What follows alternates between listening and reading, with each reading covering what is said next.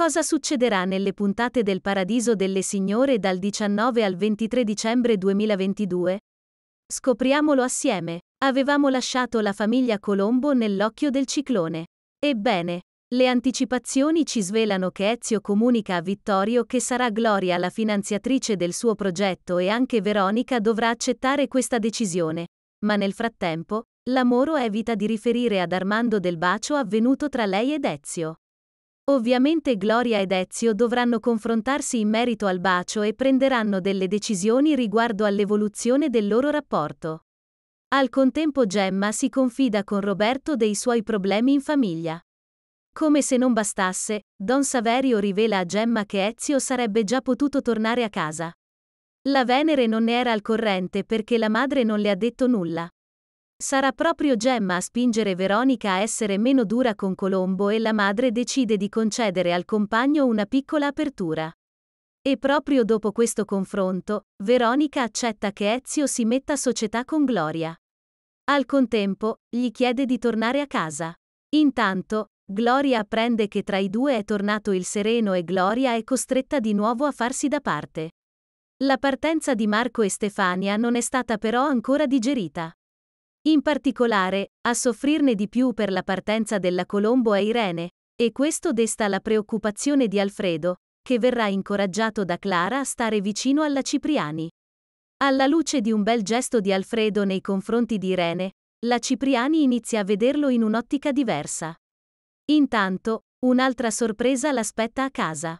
Mentre si dà da fare per disfare il letto di Stefania rimasto intonso dal giorno della sua partenza Irene trova, sotto il cuscino, una lettera dell'amica.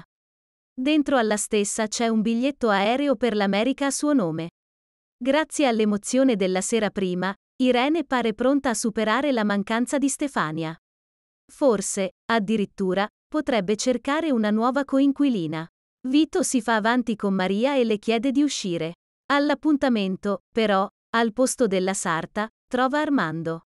Questi è sempre più scettico nei confronti di Lamantia e ha cominciato a indagare sul suo passato.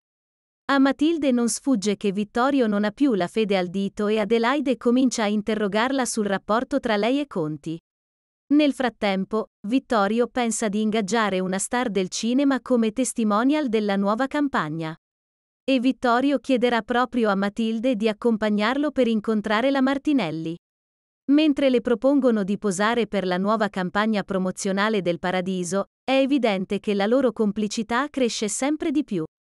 Non solo sul piano professionale. La Martinelli, però, non riuscirà a partecipare al servizio fotografico in occasione della nuova campagna promozionale del grande magazzino.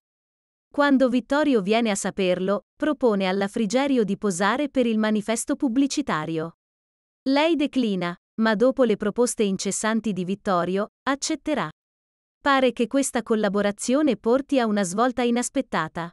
Che scocchi la scintilla tra i due? Marcello è, invece, convinto che riconquisterà Ludovica. Così, approfittando dell'assenza di Ferdinando, riesce finalmente a confrontarsi con Ludovica.